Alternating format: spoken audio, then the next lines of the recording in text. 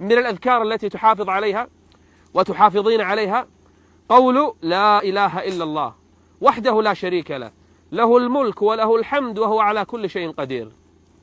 هذا الذكر لو ذكرته كل يوم مئة مرة ما أجرك عند الله عز وجل. مئة مرة ما تأخذ دقائق من يومك. مئة مرة بعد الفجر أو مئة مرة بعد العصر أو في أي لحظة في يومك هللت بهذه الصيغة. لا إله إلا الله وحده لا شريك له.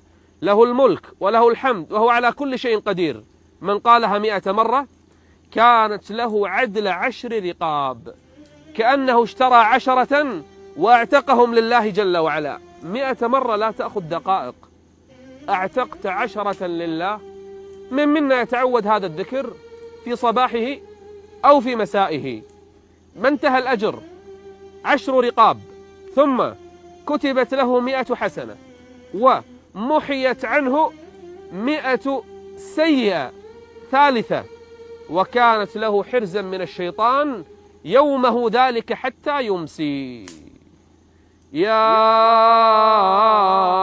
أيها الذين آمنوا لا تلهكم لا تلهكم أموالكم ولا أولادكم عن ذكر الله. ومن يفعل ذلك ومن يفعل ذلك فأولئك هم الخاسرون.